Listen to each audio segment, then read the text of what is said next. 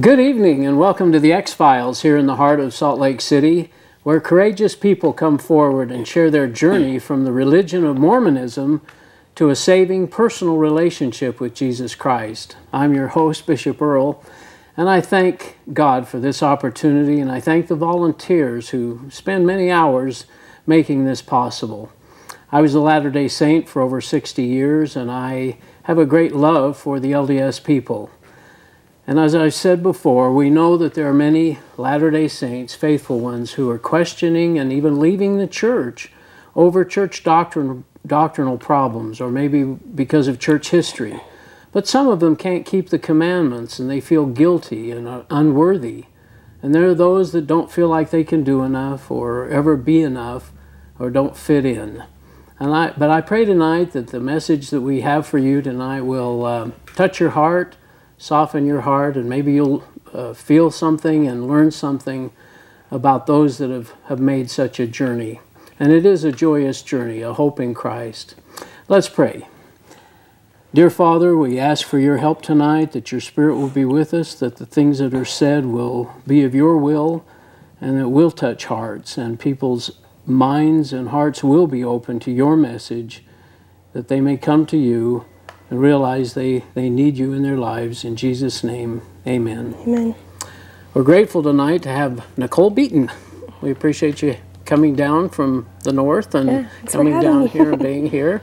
Uh, you were raised, uh, born into the church, right? Oh, yes. You're yeah. a young lady, so you haven't. Mm-hmm. Uh, so, how long were you in the church? Uh, well, I guess 26 years technically. I'm 27 now. Oh, but okay. yeah, so my whole life, and okay. I mean, so born and raised in the church. Yes. Tell us. I know your family's active. Your mother, Yeah. mother went on a mission. And yeah, my well, it's kind of my dad. my mom and my dad actually were divorced when I was two. Oh. My mom, mom, she went on a mission though, and after the divorce, she she went inactive. But I grew up with my dad, and then he got remarried and and all that. So Yeah. yeah. very active.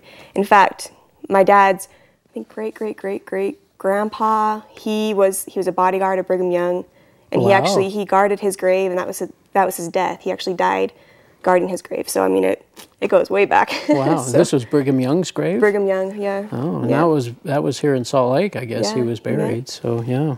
So uh, so tell us just a little bit about you went to seminary and had those experiences. Yep. And Went to church every Sunday. Went to seminary. I went to institute when I graduated high school and did all that. And Yeah. Yeah. So and you believed it. somewhere along the way you fell in love. Yeah. I think I don't know if it's just because oh oh I thought you meant the church. I was like. Oh no, Well, that yeah. too. Yeah, in, in high school, yeah, my we grew up in well, I didn't grow up in Malad, but I went to, to high school in Malad, Idaho, and he was my neighbor, even though we lived a mile apart. But Yeah. anyway, so yeah, we started dating and fell in love, and he went on a mission. He went on a mission. that, You I waited, for him. Yeah. yeah.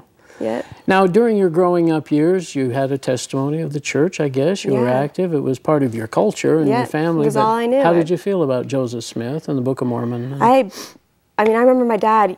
You know, he'd always read the Book of Mormon and say, "How could somebody just make this up?" I'm like, "I know." You know, I just thought it was just this incredible book, and and I mean, the church. I mean, that was the only thing I knew. It was true. I was raised in it, and I love my dad. And I mean, I just, you know, I just there, there was nothing else. You know, so I and, just and you didn't even probably ever even think about anything else. No, I mean, didn't, And mm, the prophets, you trusted them. Yeah, and oh, loved yeah. them. And um, any any problems during your growing up years that ever struck you funny or oh yeah. made you think? Well? Yeah, um, polygamy definitely was was a really hard one for me. I, um, I mean, my sister and I would kind of talk about it a little bit, and and I remember going to seminary, and my seminary teacher was talking about it, and it kind of bugged me when her and I were talking about, it, but I didn't know how real it was, you know. And he started talking about it, and I, anyway, I I, I went to go talk to him, and asked him. I was like, I just don't understand this polygamy thing. I, you know, what? How can you explain that? And he's like, Well, Nicole, you know God's a polygamist. So he's like, how do you explain all the other, you know, races? And anyway, I just cried and I just, I couldn't, it just, it just, I knew it wasn't right, but I just thought something's wrong there. Maybe something's wrong with me, but it was never, well, the church isn't true then. It was just something's, Something's either wrong with me the- or something. I just, I'm not grasping this, but it, it just really took a toll on me. And You know, I've actually never really thought this through much. I don't know what the LDS would, listening might think of this as I say it, and I'll see how it comes out. But uh, when you say that about G, uh, God having multiple wives, and that's where the races came from, and I do think that's kind of the the consensus of things out there in the LDS world. Does that mean that he had a an Asian wife and a black wife and a according to what my I mean I don't know What he according said, to what my anyway. seminary teacher said and and I didn't I thought maybe this guy was just misled but you know he's a leader and so Yeah. and anyway come to find out that that's it is in the doctrine that he's going you know, multiple wives or from what I read you know and all that so institute? Do Any questions ever come up at institute Uh, that, other really. than polygamy? I, and I didn't go for a long time I Yeah. you know I went and and so but nothing I just yeah nothing really came up that So husband comes home from his mission, Yeah. and then what happens? get married Get married? a few months yeah And where did you get married? Salt Lake Temple In the Salt Lake Temple. Mm-hmm, Came down here and got married in the temple. And How was that? Had you been through the temple before No. he came home? No, What was that experience like? It was different.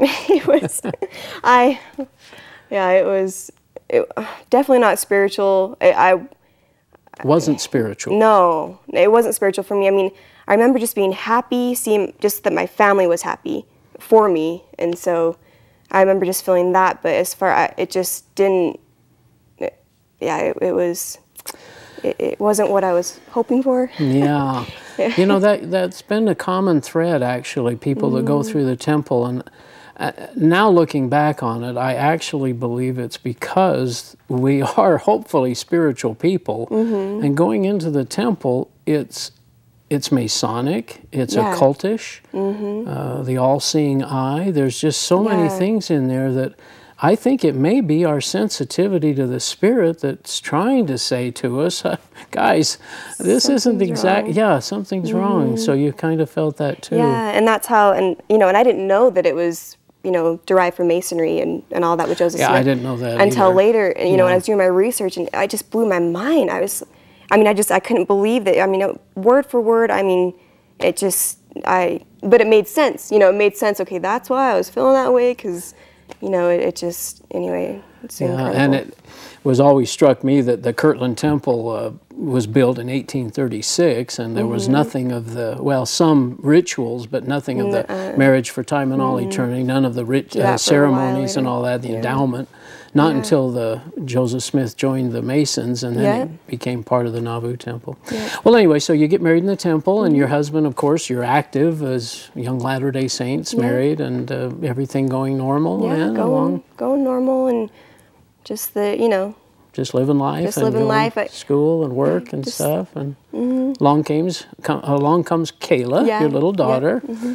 so tell t- what so what kind of started making you think again more about Um, the church Well, especially after after I got married, I was really struggling with polygamy because I knew it was still a doctrine in the church, and and here I'm married and you know in love with this man, and I I just you know just couldn't get past you know thinking that maybe I have to share him, and I mean these thoughts are real to women. I mean really even if you're not you know in the polygamous groups, you know women they really have these thoughts going through their head, and well you do have to deal with it Yeah, right i mean you have to think about it in the sense of you know what It's if? there. yeah Yeah. it's there and it, it just and so you know it continued to bother me and um anyway so that continued to bother me and then we had kayla my little girl and um my sister has two girls as well and me and my sister are really close and her and i were both just having this issue with how are we going to teach our precious little girls that this is something from god because i know they're going to question us and it just was really um, just really getting to us and um, anyway, it, it just it struck us to do more research and you know read some books and just see you know let's see if we can find an answer for this and and then you start trying to find answers and you start it's that's kind a dangerous uh, dangerous thing to do yeah you start open a book oh it man makes- it's just the polygamy is just the tip of the iceberg and then it just that's not that's the least of my worries now with it. so what what other things did you run into just Oh. quickly um, the blood atonement, you know, what Brigham Young taught, you know, the apostates or, um, you know, people that were adulterers or whatever to slit their throats. I mean, it's graphic. The journal Yeah. discourses, it's, Yeah. I mean, it blew me away. And um, I mean, I, the Adam God doctrine. Um, Yeah. there's so many, there's so many different things. Yeah. But I mean, but now the, the the main thing that bothers me is just their their false doctrine on who Jesus is and His true gospel and that just I mean I just I can't. We're running into I'm running into this all the time. Mm-hmm. So explain a little bit what was your testimony of Jesus and maybe the Bible as a Latter-day Saint? I always loved Jesus. I mean I just I, I loved him, and I didn't know who he was. I thought I did. I thought he was my my older, brother, that was valiant He stepped and up in the first in the pre-existence yeah, he's going to help take me out, and um, but I always had this connection with him. Um, and sorry, what was your other the other well, part of just that? the, Bible too, but the just your the- testimony. I mean, because when you talk to a Latter Day Saint, they say, "Well, I believe in Jesus. I Yeah. Mm-hmm. love. I, I believe in the Bible, but more particularly, we're talking about Jesus. But uh, so He's my Savior.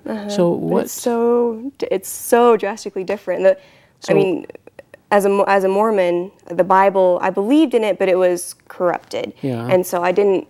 In fact, I didn't really want to read it because I really didn't want my parents even watching me. I mean, you know, read the Bible because I should be reading the Book of Mormon. You know. Yeah. And so, um, you know, when the Latter Day Saint says that, it, it's now it's incredible to me because every single doctrine in the LDS Church is is completely different than what's in the Bible. I mean, there's there's a spin on everything. It's just it, it's crazy, and so you you can't you can't believe in the Gospel of Joseph Smith, and believe you can't and believe in the, and really contextually in the You Bible. really and, can't, yeah. And now I realize that, but you don't know that when you're LDS. You just you just you know listen to what they tell you and Yeah. you don't realize until you your eyes are open and then it's just this amazing beautiful book and Well, you know. we, we used to always pull out different scriptures, you know, to uh, explain Mormon doctrine, but they were just the scripture. Mm-hmm. Just the You never verse. took it out of context, Yeah, or never yeah. Mm-hmm. took it in context. You never really understood who who was talking to whom and, or whatever. yeah it just sounds good so just throw it out there and Yeah, Yeah. The,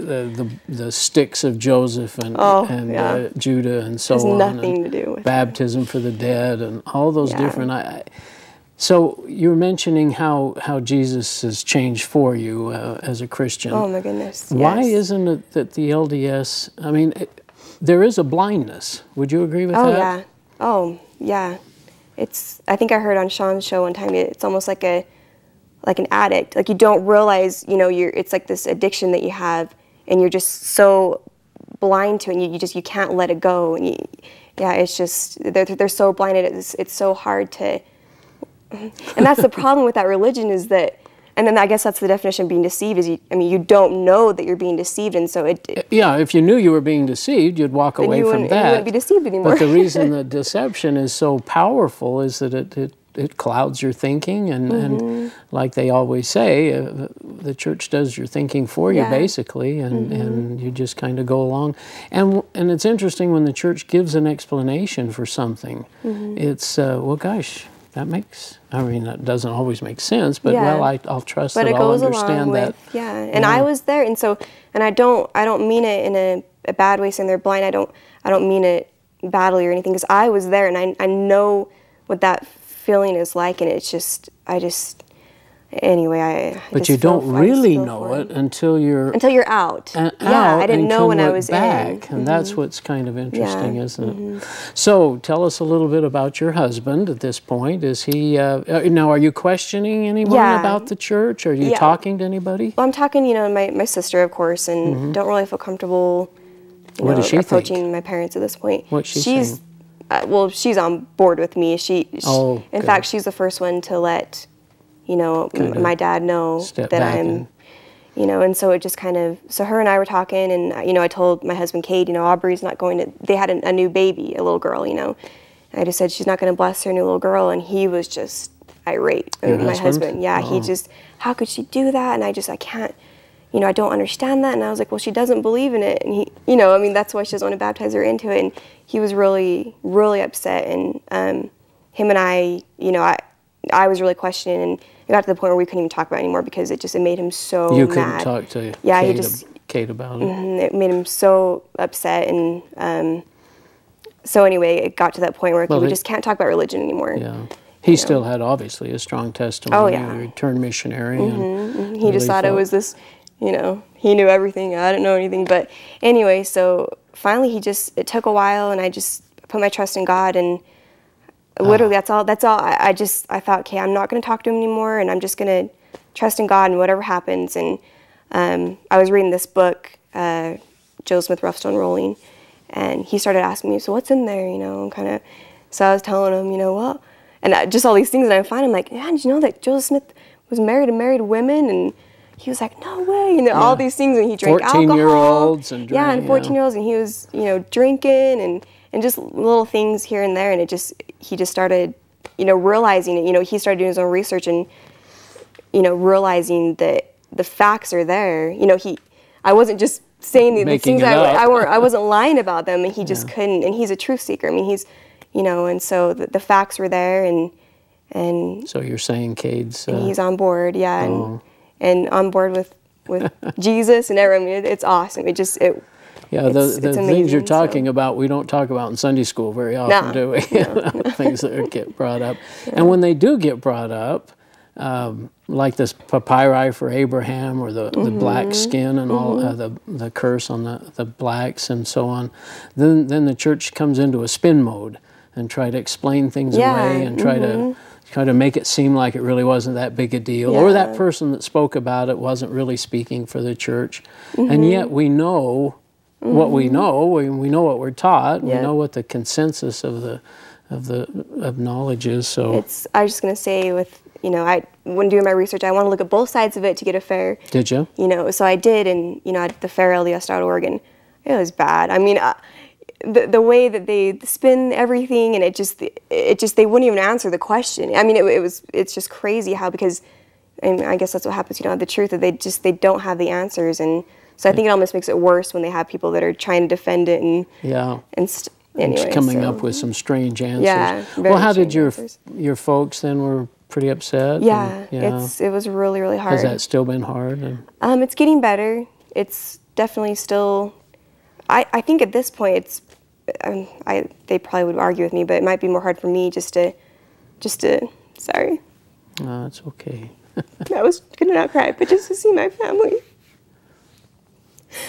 Sorry, well that's okay I just love, I just love them so much, and I just I just want them to know the truth. Like I just I mean this is why I'm here. I mean just for anybody, even if it's not my family. I just I just have this deep desire to to bring the truth out and just to to have people know who Jesus is because it'll change their life. And I just look at my family and I just I just feel for them, and my love for them has grown so much. Even though they I know they think opposite, which is probably so crazy for them that they heard me say that. But I just um, Well, we do It's have hard. a love. We have Yeah. a love for them and and for God, and and I guess it's just looking at it at it just a little differently. We have this great love for Jesus, and we want to share that freedom, and they're, Yeah. they're in bondage, yes.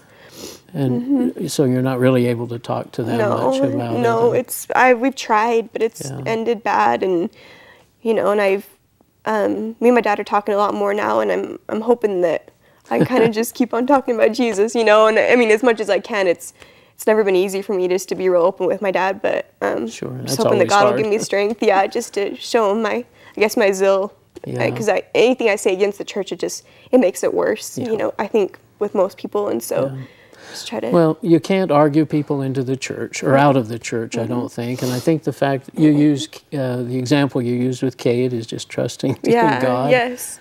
And you know, even if if these people uh, don't hear it from you, it may be from somebody else. Like you may be touching someone else's family member tonight, and and just them having them realize that if they just open the Bible Yes. and trust God's word. And realize that the Mormon Church is a gospel of Joseph Smith, Yeah, as you said. It is. It's That it's just a and it's so easy to find if you just if you're willing to just say, God, show me your truth, and you know, open my eyes. It's it's just everything's right there. I mean, God has made it so easily accessible for us to find His truth, and all you need to do is just um, trust in Him and just have that that open mind and heart. You know. And one of the challenges, I think, of leaving the church is that because it is the only true church, you kind Yeah. of wonder, well, what do I do now? Where do I go? Yes. Mm-hmm. Uh, What's next? You know, you almost feel, and some people actually kind of drop off the edge for years Yeah. before they find Christ. You were able relate to. How how did you make that little transition? you know, when I found out um, the church was a lie and false, I was mad. And you know, you're that's your only truth growing up. I mean, that's what you're raised into. That's all you know. That's all you know about God. That's Yeah. it. That's it. And so, I really was leaning towards being atheist. Really, I just I just was because I didn't know. I you know I thought well that's God and that's not true. So, it's over. um, yeah, but but praise God for people like you and Sean and you know because um, my husband, you know, we were doing some more research and he ran into to one of Sean's episodes and he's kind of debating, uh, you know, a Mormon and I was like, oh, this guy's right on, you know, yes, and you know, we were getting a kick out of it. And at this point, I I really was like, God, eh. but but even though I felt the way about God, I still love Jesus. I still thought Jesus is awesome. He's a he's a good guy, but because I didn't know who he was, but yeah. anyway, um, so it just we started watching Sean's ep- just clips of him. Then I started watching the full episodes and realizing, you know, his true message is trying to help people just come to Christ and Don't and trust know me. him and Don't believe me. Don't Look, believe me. open a book. Yeah, and I just Come to Christ. Anyway, I just started reading reading the Bible and just uh, the New Testament. It just, I mean, it it just was a completely different meaning for me. It just Yeah. those words and I mean What did the Bible mean to you as a Latter day Saint? it really honestly it didn't mean anything. It really because i just it was i just felt like it was so corrupted and kind of don't Just not you know don't really correctly. yeah. And and, And so it didn't a- i just thought it was this book that you can't understand. It's so hard to read. And and now it's just it's so amazing because it's i mean the old testament and the new testament it all goes together contextually and it's all it's all about jesus the whole thing. It just every single thing it it's prophesying of him or it's a shadow of him or and so every time i read the old testament i can just see it, it's just it's it's amazing now it It's really all, Old Testament points to Christ, Christ and the New Testament New. Testament. Yeah, exactly. It's, Oh, that's great. Well, so so you tell us a little bit about your first time going to a Christian church. Well, the first time I went was actually um, I was with my sister in tech in Austin, Texas, and um, and it was amazing. I mean, I I walked in there and they just they started playing the music and it was all about Jesus and Isn't that so different? yeah, it's so I would love to have every LDS person walk into a, a church Yeah. with the music and the words up on the screen and read Mm-hmm. those Him. words and praising God. Praising God It's just so unique. it's very and it just it was, anyway it was a just incredible and the, just the whole message and because I, I really as a, as a mormon i you know going to the meetings the you know on sunday it just it, i didn't feel uplifted i didn't feel edified and i was always i mean even when i was younger i'm like man i just want to hear more about jesus and when they did do something about, about him I, I loved it and i wanted to listen and i was all ears and it just it seemed like that was um, lacking Would you say the LDS would say to you that you missed something? i don't That you missed their message? Probably is- they'll say whatever they want Yeah, they can say They what can. they want. I mean, uh, I know what I'm saying. I know that's very challenging to both of us because I'm I was in it for 60 that. Mm-hmm. years, 60 plus years, and I guess I missed the message because I sure didn't ever sense it. I mean, I had a love Mm-hmm. for Jesus. In fact, I think I- I've kind of said this maybe tongue in cheek, but I think I had a pride that Mm-hmm. I knew Jesus. I wasn't even looking for for a relationship Yeah. with Jesus. I didn't know I didn't have it yeah, until I ended Mm-hmm. up having it. So exactly. so, so the worship is different, and you enjoyed the music in Yeah, Texas, love- and is it similar here it. in Utah? Yeah, it's and I just I can't wait. I mean, I, I seriously can't wait for Sunday to roll around and. Uh, whenever it's over, I'm like, oh man, you know, I wish it was longer now, and it just it's completely changed, and it's just and and it, what's so amazing is that they take one verse and you learn so many different things about this one verse, you know, just contextually and just all the different meanings in it, and it's just it's just anyway, it's awesome. It's a joy, it. isn't Yeah. it? And talk a little bit about uh, the burden off the shoulders kind of thing, Oh, the, my the feeling that you have, uh, the freedom. Yeah, um, I can't. It's amazing. It's there though, isn't it? Oh my goodness! It it, Or lit- not it, there. it no, literally, it literally feels like a weight has been lifted off, and I just um, I just every day I just it's it's all about Jesus and trusting in Him, and it's His righteousness, not mine. It's you know, my righteousness comes through faith in Him, and and it's all about Him and just praising Him, and it- it's it's amazing, and I, you know, because you just you can't work for your salvation. You you never can be good enough. And if he could, then we wouldn't need Jesus to come down and do it for us. So Well, let's talk a little bit more about works and grace because Okay. that is a significant difference between the Yes. Mm-hmm. LDS, and you mentioned it. And that's what does put us under a burden, doesn't Mm-hmm. it? And put us under a, the yoke of bondage, so to speak. Mm-hmm. Uh, so, what's the difference for you? um, it's What do you sense? The difference is that now um, when I when I do when I do good, it's it's because of my love for Jesus and it's because of what he did for me on the cross and just his unfailing love for sorry i'm really not a bawl baby normally um, just for all i mean just for everybody. I mean we're so we're so lost in sin and i mean he died for the people that crucified him so that they can have eternal life because he loved them so much and so now it's so different because it's just the reverse um, I, I, I want to do good and, and um, be a disciple because of my love for him, not because him not done. because I'm working or because I'm trying to win his favor or anything like that. It's just because I, I I have so much incredible love for him that it's just changed my heart and my life. And it's and you, you just you can't get that when you're in a system that's works based. You just you, You can't. and it's I mean you know, people can be born again in Christ with that, but it's very difficult because you just don't realize how much you need God Yeah. when you're doing it on your own. So, And the Bible teaches us that he that believeth in him, he that believeth on him shall have everlasting life. And blessed are the pure in heart, for they shall see God. yes, And it that is just so uh, opposite of working Yeah. for your own salvation. Yes. Jesus did it all for us. Mm-hmm. Um, it's just, and that's a joy that I don't know that. Uh, that the LDS will understand until they turn their lives over And when they and do- actually trust God. and when they do, it'll be the best day of their life. I mean, it, it'll it'll change them, and I mean, there's no going back after that. So, Well, Nicole, you're a sweet young lady, and I I'm grateful that you and your husband. It's that must have been a scary time for you, not Yeah, knowing was. what his reaction would be, and that he was, gosh, being a return missionary. Uh, yeah, it was hard. so, uh, well, I praise God on your behalf, and I'm sure you're grateful for you yes. have and your little daughter and everything. It's uh, and she enjoys church, does she? She goes oh to yeah, church she just with claps you. her hands.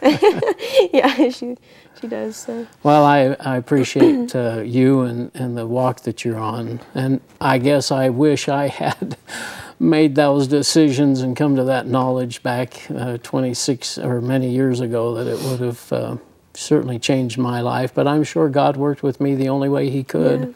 Yeah. Yep. He brought me to a knowledge late in life, and I, I love Him and I trust Him, and I've turned my life to Him. And those of you out there, remember that you are choosing between the gospel of Jesus, Chri- uh, Joseph Smith and the gospel of Jesus Christ. And I look forward to seeing you next week. Good night.